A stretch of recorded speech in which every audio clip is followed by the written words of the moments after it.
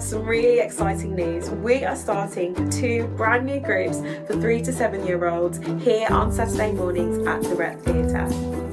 Young Rep Playtime is for 3 to 5 year olds and Young Rep Beginners is for 5 to 7 year olds.